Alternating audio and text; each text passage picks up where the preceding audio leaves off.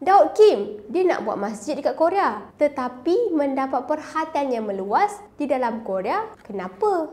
Jadi, kalau korang kenal Daud Kim, seorang Korean Muslim yang memeluk agama Islam pada tahun 2019 dan meraih populariti pada tahun 2020 telah menyuarakan hajat dia yang dia nak buat masjid dekat Korea Selatan. Ini susulan daripada kisah pelajar-pelajar Muslim di Korea di Daegu yang mengalami kesulitan dalam membina masjid di, di Daegu. Jadi dia pun mengambil inisiatif yang dia nak buat masjid dekat Korea. Tapi dia punya niat ni mendapat orang kata kecaman lah di sana.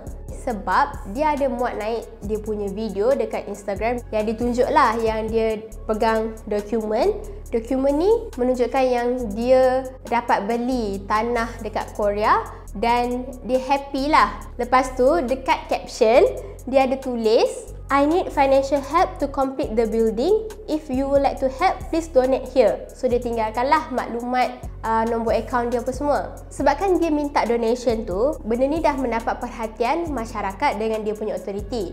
Okey, masyarakat tidak bersetuju dengan apa yang dia nak buat ni sebab seperti kita semua tahu, mana-mana negara yang muslim di sana adalah minority, memang susah ya untuk individu membina masjid secara seorang-seorang maksudnya tidak tidak mendapat uh, kebenaran daripada authority ataupun macam tu okey? Lagi satu kawasan yang dia nak buat tu um, berdekatan dengan sekolah dengan residen jadi lagilah masyarakat dekat situ tidak bersetuju untuk dia buat masjid dekat situ. Untuk pihak berwajib pula Daud Kim ni kan seorang individu persendirian. Dia bukanlah mana-mana syarikat ataupun organisasi. Jadi perbuatan dia yang meminta dana kepada orang untuk directly transfer duit dekat dalam akaun personal dia adalah adalah satu perkara yang tidak boleh dibuat di Korea. Okay, memang ada tertulis dalam law dekat sana, mana-mana individu tak boleh kutip dana dan masukkan dana tu dalam dia punya personal account. Dekat Korea ada organisasi yang memang diiktiraf oleh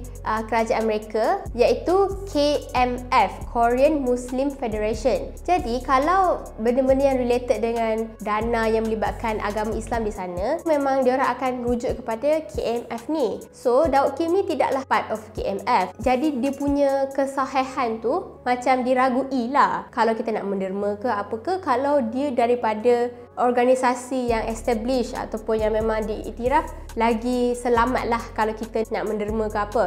Bukan tu saja, Daud Kim juga dia seorang yang kontroversial. Dia pernah ada rekod jenayah yang dia percubaan untuk merogol foreigner dekat sana. Lepas tu kes dia abuse dengan wife dia pun ada juga. Jadi disebabkan background dia ni tak berapa nak cantik, media-media dekat sana memang gunakan maklumat ini untuk frame news ni dengan negative tone lah. Okay, contoh ayat yang media sana keluarkan Muslim sex offender want to build masjid ni ni ni, ni macam tu. Lakilah macam masyarakat kat sana tak boleh terima. Eh dia ni ex sex offender takkanlah dia nak ni ni ni, ni macam tu. Okey. Dengan genosid yang berlaku dekat Palestin sekarang dan juga propaganda yang ada dekat media-media sekarang menyebabkan Muslim punya reputasi dekat negara-negara bukan Islam ni memang negatif lah. Jadi lagi susah dekat situ. Adalah aktivis-aktivis seperti Ayana Moon dan juga Farah Lee. Diorang pun menasihatkan orang ramai untuk berhati-hati sebelum nak bagi dana ni dekat siapa-siapa, okay? First kali kita kena check dulu orang ni siapa, dia ni legit ke tak legit ke dan juga kalau kita nak menderma, kita kena tahulah berapa banyak yang dia perlukan untuk membina sebuah masjid. Okay, katakanlah RM30,000.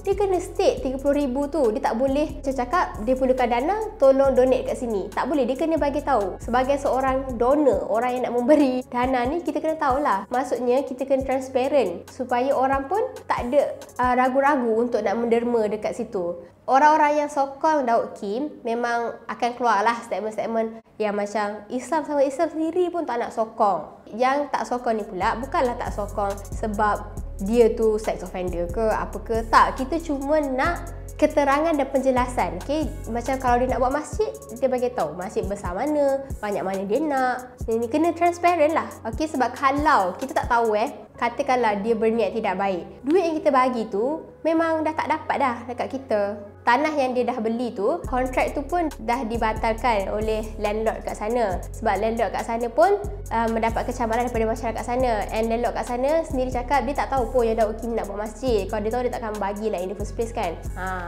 jadi korang rasa macam mana?